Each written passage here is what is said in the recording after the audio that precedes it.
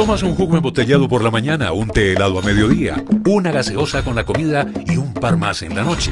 Parece algo inofensivo, pero todas estas bebidas azucaradas en un solo día suman mucha azúcar adicional que puede provocarte graves problemas de salud, incluyendo la obesidad que causa diabetes, enfermedades del corazón y algunos tipos de cáncer. No te hagas daño tomando bebidas azucaradas. Mejor toma agua, leche o aromática sin azúcar. Cuida tu vida, tómala en serio.